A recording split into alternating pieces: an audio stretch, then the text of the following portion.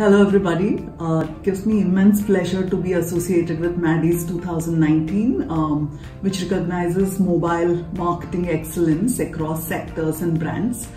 Um, mobile for me is uh, becoming a more than a second screen. It's becoming a highly personalized uh, uh screen that's part of the multi-screen consumption habit that you see everywhere as you look. I think uh, the erstwhile direct marketing is taking a complete leap uh, with uh, mobile being able to deliver high quality audio, visual and interactive messaging one on one directly to the consumers.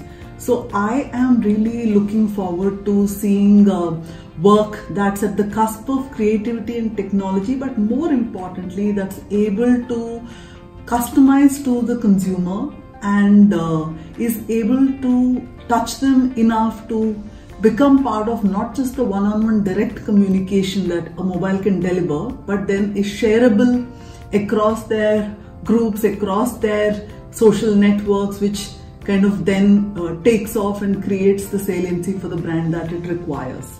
Um, so all the very, very best. And I think uh, passion and curiosity to completely experiment is what I think will stand out and create great work. So Looking forward.